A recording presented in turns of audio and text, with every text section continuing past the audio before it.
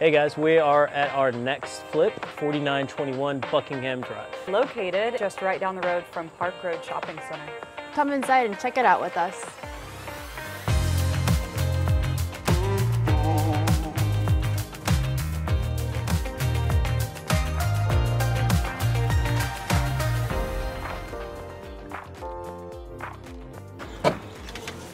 Welcome to 4921 Buckingham. We just closed on this one last week. No idea what we're doing yet, but let's take a tour. We have a little hallway here. We'll probably be gutting almost everything, but we have a room on this side. And then we have a little pink bathroom in here. It's a full bathroom and check out that mirror. Additionally, we have two bedrooms in the back.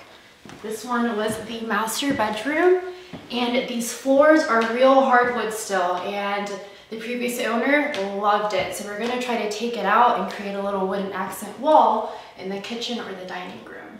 Here we have the guest bedroom. Like I said, we're just gonna be trying to tear down everything. We have a Carolina blue kitchen, cat wallpaper. You have your steel counters where the water just drained down. This house is 60 years old. The owners actually added on to this one a few years back and they wanted to create a space where she was able to look at all the birds that she loved. So you have a huge backyard, it's one of the largest in the lots, and bird feeders all throughout the back. Beautiful. We obviously don't have a set plan right now, but uh, construction-wise, I can tell you what we're gonna do a little bit of. All these walls are going down. Um, we'll probably put some steel beams in here if we have to, to carry the, the open load. This room is super cool. Um, not, not very useful for a regular family for you know what we sell. So unfortunately, we're gonna have to take it down. We're adding a second story on this. Most likely, a master will be up there with two other bedrooms and a study down here. We're gonna open up the floor plan. You'll have a nice little uh, kitchen, probably along that wall if I had to guess dine in on that side and then we're kind of sitting where the study will be. Second floor additions is we take this eight foot ceiling up to a nine foot ceiling. So you create a lot more open space just, just from that. We'll be extending the house back as well to gain some more square footage and we can probably use some of this as the, the actual crawl. Um, and then we'll dig footers around.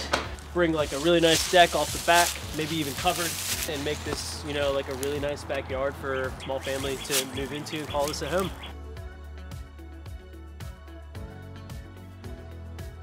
I'm so excited to get started on this one. Next up are drawing up the plans, getting the engineer's stamp, get this house demoed as much as possible, tear off the roof, make some awesome nine foot ceilings in a 2,600 square foot house. We started demoing end of September of 2021. this is wild and the house was listed around end of July of 2022. That's about 10 months. So when we got to demo, we discovered the framing was not to standard framing, even for back in the 50s. Yeah. These aren't even two by fours. They're like two by threes or something. Two by threes, spaced 12 inches apart. Typically you see those in sheds or uh, mobile homes, not a full-blown house. We knew we had some more work to do, which involved obviously extra demo because we couldn't use those walls anymore. And then we had to get the engineer to reevaluate and put new plans together. I had to file for a whole other demo permit, which is yep. totally separate through the city. That's so just like was... extra money, like racking up. Yeah, absolutely. Walk into the entryway, got all the exterior framing done for the first floor. Dining, huge dining area over there.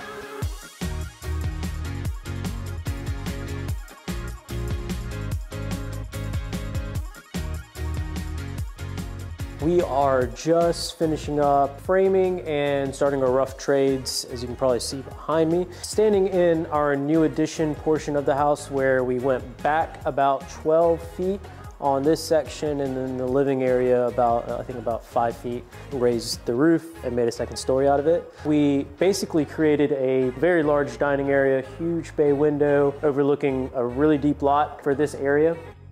Right here, it allows us to open up the kitchen floor plan too, where we have this massive island that's gonna be going in right here, sink in the middle, and then lining up with the sink is gonna be a stove, um, gas range uh, with a hood. Cabinets are gonna be wrapping around here to what will be you know, butler's pantry, um, just a large area where you can store food, can do your coffee there if you'd like.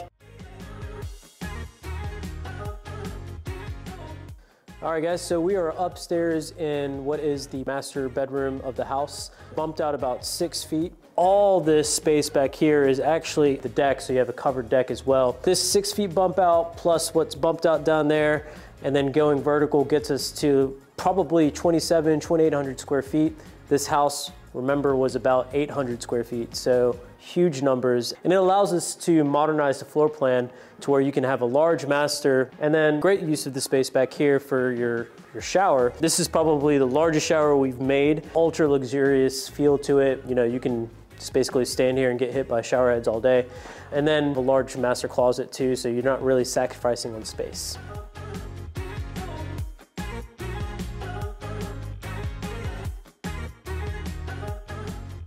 In the span of what, four, four and a half months, we went from a framed up house finally to what you're looking at.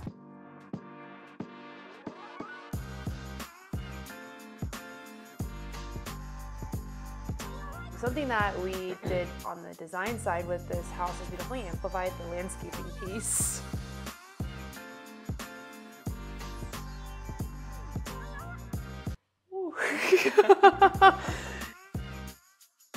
when you walk in, you can kind of see how expansive the house is. Biggest renovation, biggest build for us. Biggest budget. Biggest budget, definitely. It's super modern in the way we look at houses and floor plans these days. Open, but you know, it stacks very well. We're able to get more of a budget, so I was able to play with the design a little bit more. We had a expanded budget on this house. We got to put in some really cool finishes, staying in this awesome kitchen. First, we have Calcutta quartz. That Yeah. has never happened in any of our houses. Because we were able to do the waterfall piece, I was able to customize our island panel. We had the carpenter put it in, and then we had the painter stain it, and then Mindy and I ended up coming in and doing a white wash. We were able to actually do that custom like stain throughout the whole kitchen. So we have it on like our hood vent as well. It's cool that we have this painted island on the other side, gray painted to hit this tone in here. So the island is my favorite. What would you say would be yours? It's probably the upgraded appliance package Yeah. that we have in this house. All in all, you know, money well spent, I think. How about that pot filler though? The Pot fillers, if you guys don't have this in your house and you're remodeling, I think this is an, a really cool addition to have.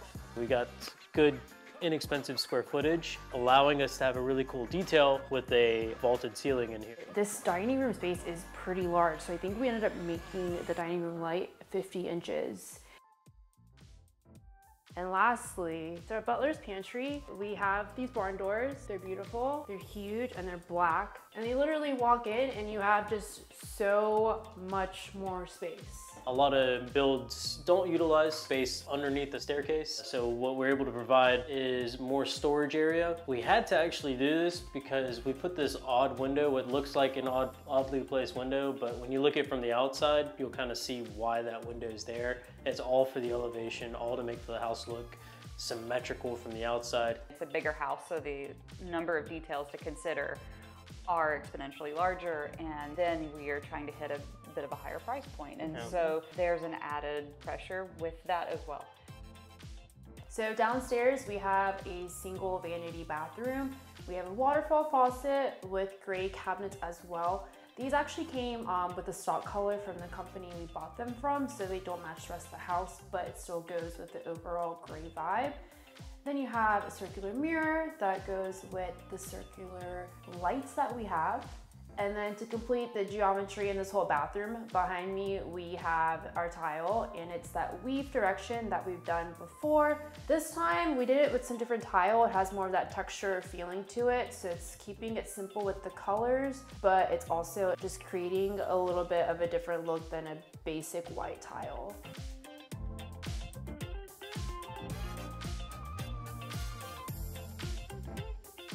We designed the staircase not to have winders, so when you're walking, you walk up to a true platform and then make a turn and get to the second floor. I think the trend the past couple years has been to stay on the lighter side when it comes to choosing your stain colors. It makes the house a little bit more lighter, warmer, airy, and it allows the buyer in turn to play a little bit more with their actual style when they're moving into the house. This was legit the hardest tile for us to get ever. The textured part is cool and then Shapes. it, it has it has an actual design. You, you don't see it, but there is an actual method to the madness on this. It's not like he just laid it in. Um, so that's a super cool part.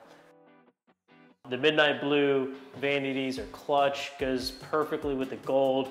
This this in itself is perfect. And then you get like the Carrara look in this tile and get the gray catching everything with the golds. I don't know if we ever talk about that, but we always take the tile to the ceiling.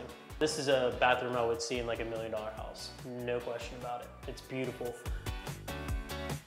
So let's actually talk some numbers. Um, the door package for this house, we used full core doors, um, which are a lot more heavy and weighty and were great for soundproofing. Um, and the door and trim package came at right around $6,000.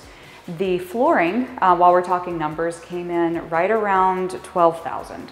The framing package for this house actually did come in a little over budget um, as we did have a few snags at the beginning, um, but we came in right around $60,000 for the entire framing package. All right, so when you leave the guest bath, you'll notice that all the bedrooms are off the hallway, including the laundry. But the coolest thing is when you get to the end of the hallway, you're met with this super cool accent wall. This one was actually a very last minute addition that we decided to do it, so we had to keep it very much on the simple side. So it's literally just diagonal two by fours. One by four. One by fours. Thanks. Obviously, I don't do the construction piece. And then the coolest part is it comes off to the master suite. This is the biggest room we've ever done. And we also have a light in here. Sometimes I go back and forth between between doing like bedroom fans and having chandeliers in the master bedrooms. This was just such a huge room. We not only were able to put a light in here, we also put four LED lights to help with the lighting. Something that we've also done is like changing our light bulbs to warm white. Yeah. We were doing daylight white before, and it was kind of blinding. I don't know how we did so many houses with that. because I loved it and I, I don't know any better. We've got these cool sliding barn doors. We've never done these before, but they're super nice.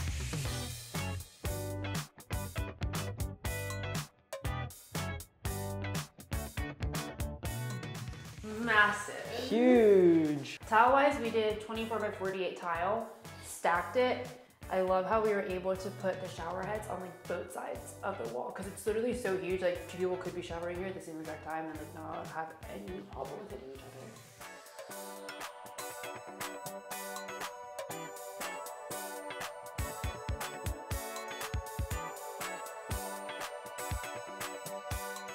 Welcome to this awesome back porch. Lots of great mood lighting here, lovely fan. Also, this is the first house that we've actually done a privacy wall, which is great because neighbors, of course, in the city are quite close to one another. And then this awesome, huge backyard is just incredible for the location, especially. I think this is the largest lot in the neighborhood. I think the buyers are gonna be really happy with the space out here. So there you have it, 4921 Buckingham Drive. We had time flipping this house, a lot of ups, a lot of downs, but it came together just how we imagined it. If you like this video, send it to a friend that you think might also like it. And don't forget to like and subscribe. Check us out on IG, QC Flippers. And we'll catch you on the flip, side. Bye.